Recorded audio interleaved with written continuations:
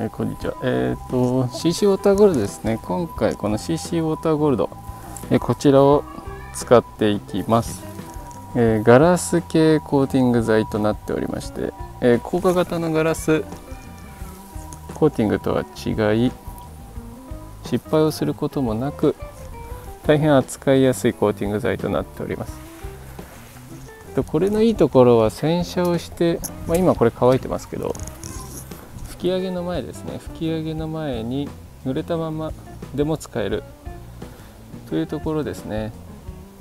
なんですけど乾いた状態でやるとより一層光沢が出るということでまあ手間じゃなければ乾いた状態でやってみるのもありかなと思います、まあ、今回乾いた状態でやっていきます。そしてこちらですね。こちら撥水性のコーティング剤となっておりますので大変水はじきがいいというところですね、まあ、どんな風に変わるのかまたボディ半分に分けてえツヤと撥水の違いですね。を比較できたらと思います。それではやっていきます。はいそれでは、えー、左側ですね。左側にこちらの CC ウォータゴールド施工していきます。50センチ四方にワンプッシュをして、えー、拭き取る。ということですねやって。いきます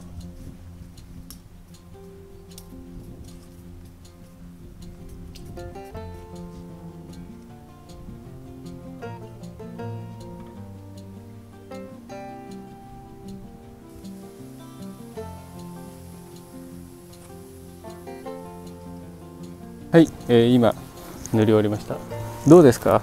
もうカメラで見ても全然違いますよね。今肉眼で見てうわちげえなと思ってカメラで見たらやっぱり違いますね。この iPhone のカメラでも分かるぐらい黒々として発色が良くなってます。すごいですねこれ。じゃあ今から撥水ですね。撥水の違いを見ていきます。はいじゃあいきます。まずはコーティングしてない方からかけてみます。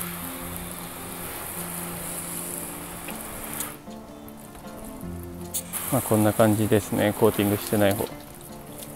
でシシウォーターゴールドの方いきます。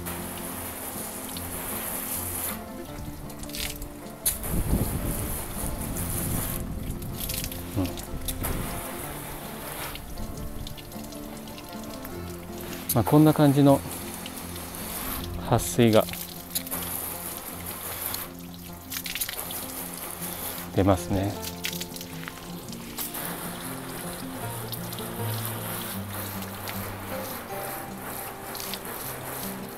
まあ段違いですよね。まあ本当手軽なんですよね。で CC ウォーターゴールドのこの楽なところがこの状態ですよね。濡れた状態。濡れた状態でほらもうさって引いてるんですけど濡れた状態でできるんですよね。だから普段の洗車でシャンプーをして流したらすぐもうこのままシュシュシュシュしながら拭き上げる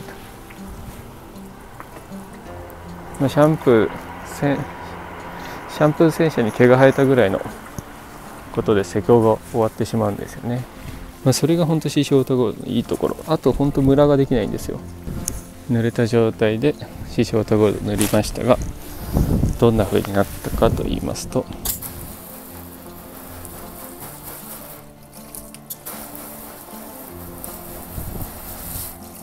ですね。まあ乾いた状態でやった方が断然やっぱいいですね。でもさっきとは全然違って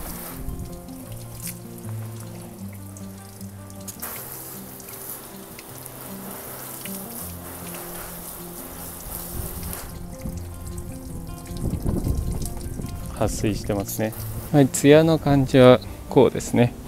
やっぱり乾いた状態で施工した方が撥水だけじゃなくてツヤもいいみたいですね。マスキング外すとそこまで分かんないかな。やっぱりいいですね。CC ウォーターゴールドツヤがすごくいいです。濡れた状態でやっても全然ツヤが出てますね。やる前とは段違いだと思います、まあ、この CC ウォーターゴールド、うん、これは買ってみて間違いないと思います。いろいろ簡易コーティング剤というのは出てますけど僕はいろいろ試しましたけどこれがやっぱ一番好きですね。あとこんな感じでボディ窓ガラスヘッドライトホイールミッキー部分ミ塗装樹脂コーティングできるみたいなので、まあ、ボディだけじゃなくいろんなところもやれるということでかなりコスパは高いんじゃないでしょうか。まあ、CC ウォーターゴールド。こんな感じですね。やるならまあ時間があるなら乾いた状態で塗ってみると撥水がかなりありますよと。ツヤと撥水がね